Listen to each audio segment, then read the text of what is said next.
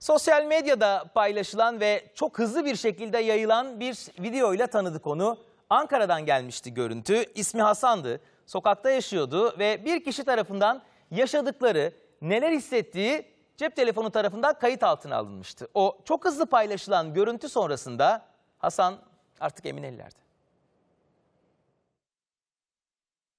Yalnızlıktan üzülüyorum. Allah insanları sınar.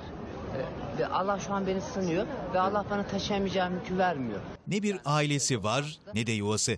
Ama o şikayet etmek şöyle dursun, tevekkülü ve sabrıyla insanlara adeta hayat dersi veriyor. Benim ismim Hasan. Evet, Ben 29 yaşındayım. evet. Doğma büyüme Ankara'lıyım ama aslen Çankırılı Gazlıyım.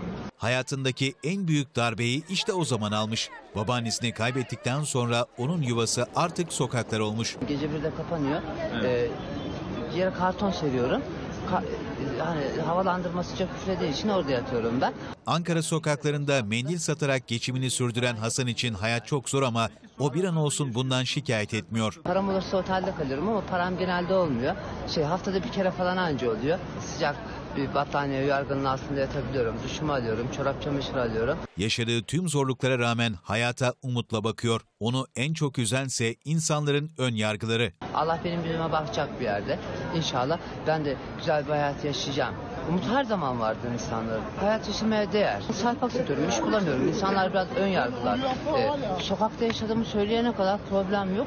Ama sokakta yaşadığımı söylediğim zaman bir tane eleman aldık, alacağız, başka biriyle görüşecek gibisinden şeylerle karşılaşıyorum. Ben bir iş bulacağım, düzenli bir hayatım olacak. Görüntüleri üzerine valilik harekete geçti ve Hasan'a ulaştı. Artık Hasan emin ellerde. Sağlık kontrolünden geçirilen Hasan devlet korumasına alındı. Bazı vatandaşlar da iş tekliflerinde bulundu.